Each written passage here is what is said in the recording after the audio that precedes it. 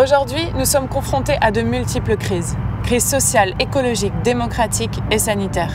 Ces crises ne sont pas une fatalité, mais elles nous invitent à agir et à agir localement. C'est ce que nous voulons. Nantes en commun ne porte pas un catalogue de mesures et de mesurettes, mais bien une vision globale et cohérente d'une autre société possible. Cette autre société, nous voulons la bâtir en commun, ici, à Nantes. La ville que nous voulons est une ville plus autonome. Face aux défis auxquels nous sommes et auxquels nous serons confrontés, l'enjeu, c'est de rendre nos territoires résilients, c'est-à-dire capables de répondre localement à nos besoins quotidiens. Et c'est pour ça que nous proposons une réponse collective.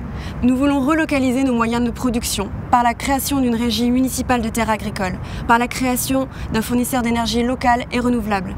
Et c'est pour ça aussi que nous voulons créer un réseau de centres de santé de proximité accessible à toutes et à tous. Nous voulons une ville à l'avant-garde d'un nouveau modèle économique, car l'économie actuelle est complètement déconnectée de nos besoins fondamentaux. Alors, inversons la donne. Repartons de nos besoins quotidiens. Ce sera le rôle des ateliers communaux que nous créerons dans chaque quartier nantais, pour développer des filières locales de vélo, de textile, de rénovation, de logiciels libres. Et c'est en ce sens que nous soutiendrons les initiatives des habitantes et des habitants. La ville que nous voulons est conviviale et solidaire. Une ville qui repose sur la coopération.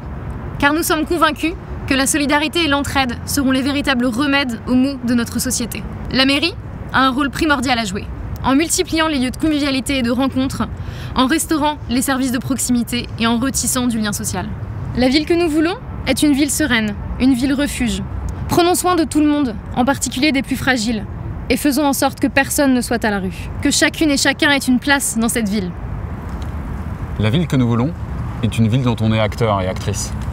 Demain, tous les habitants et habitantes auront les moyens d'agir sur leur rue, leur quartier, leur ville, à travers les assemblées de quartier.